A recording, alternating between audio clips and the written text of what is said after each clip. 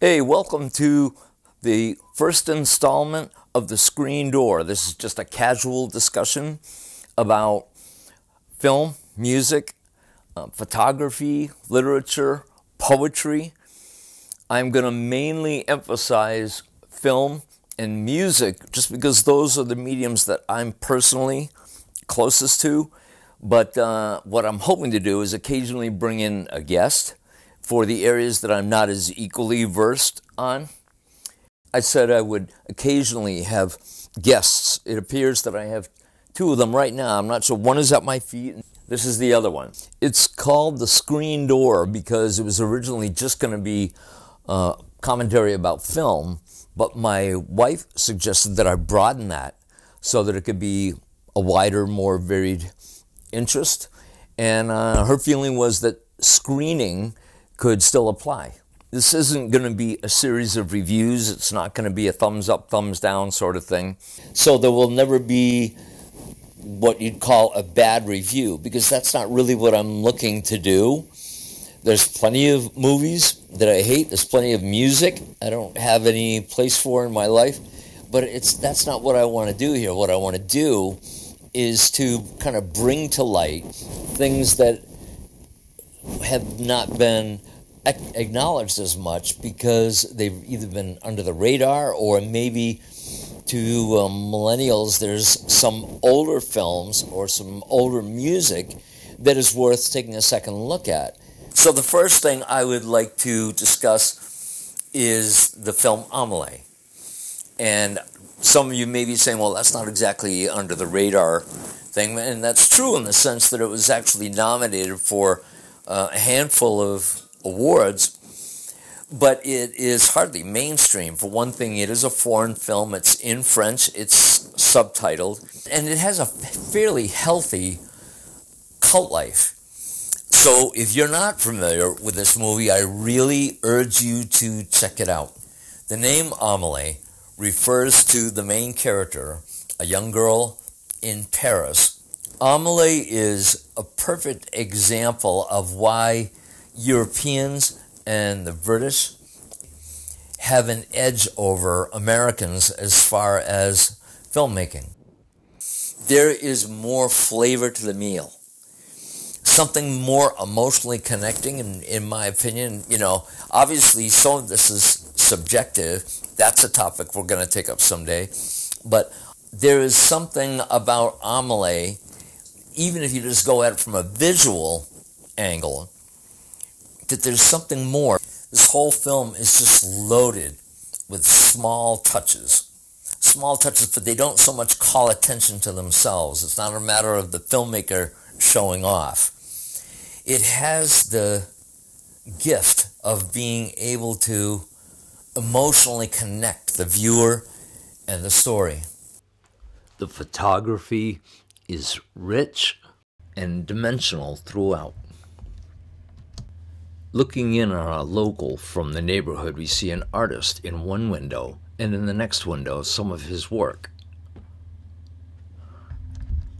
Three consecutive actions, all in one unbroken shot. How many times did they have to take this to time it out just so?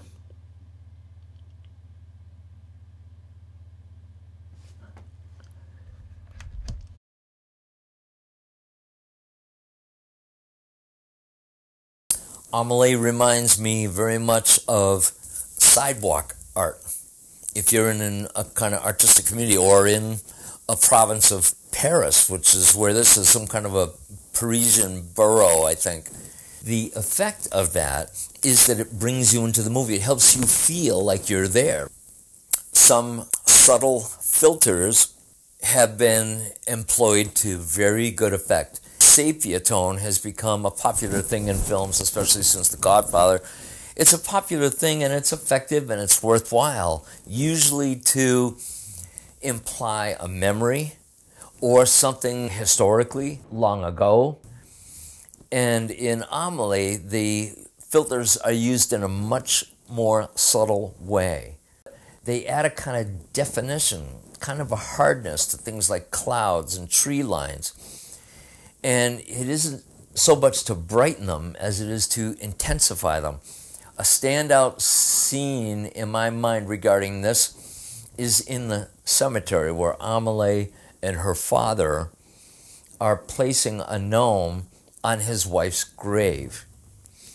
And it's a very blustery day, and I can almost feel the wind blowing through my hair. There are many shots in this film that resemble a painting. They're just really carefully composed, even though in some cases, like the very opening shot of the film, this was not set up, it was discovered. Somebody had an eye for something that was composed very much like a painting. So several of the shots in the movie are like this, including some of the interiors.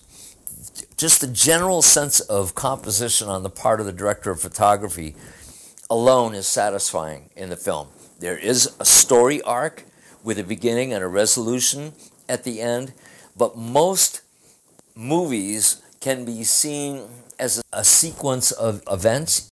Amelie is more like a series of intimate moments, and it's somehow sewn together like a patchwork quilt. So there is a totality to the experience.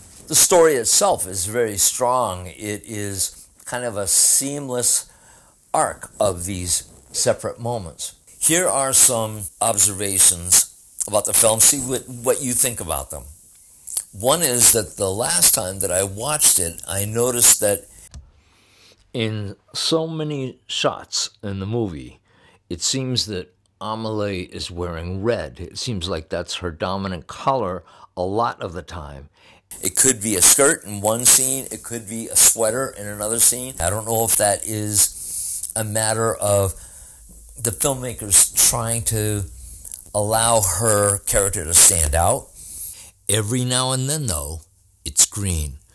And I'm trying to figure out if there's a pattern. So I mentioned this to my wife, who, who is a dream interpreter. And the movie has a very dreamlike quality. If you've seen the movie, you know what I'm talking about. And I'm not loading more into this than it's due. I'm just making an observation. And my wife said, well, red tends to imply stop, and green, go. So I don't know whether that was intentional or not. This is one of those movies that's loose enough around the edges so it's open to a variety of interpretations. It has been pointed out before that it seems like all or maybe most of the characters in this film all are collecting something. It could be discarded photos from the, the, the little uh, photo booth. In one person's case, he is collecting his own comments about other people that he observes onto a tape recorder. Amelie herself continues to collect stones throughout the movie, and it's only in one, maybe two places where we find out what she does with them. She just skips them. Now, I actually have a question here. I am not clear what the purpose is of Amelie sending these videos to the man known as the Glass Man. I'm not sure what she intends intends to be giving him, but whatever it is, it clearly had the desired effect. You can see how there was something resolved in him. Anybody have any thoughts on that? Please, please write in and, and let me know. So this brings it to a larger point. Amelie is clearly interfering with the lives of all these people that are around her, trying to enact good. But what is the common denominator here? I mean, like in some cases, she is trying to bring resolution or at least a moment of happiness, if not resolution, to these different people. In some cases, she's trying to enact justice, even though it takes the form of revenge. So, what is the common thing that she is trying to do? The one thing that I can see that seems to be a dominant feature to all this is that she is giving everyone a mystery, even the people she's trying to frustrate.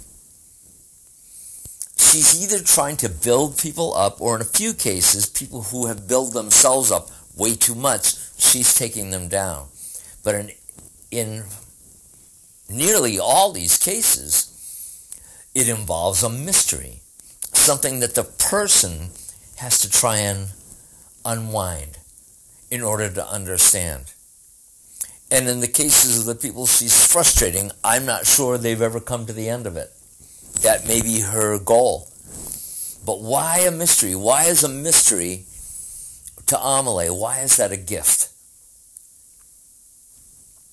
I don't know for sure, but it brings to my mind a quote that I heard someone say a long time ago. Life is more interesting when you don't know which bush the rabbit is going to jump out from.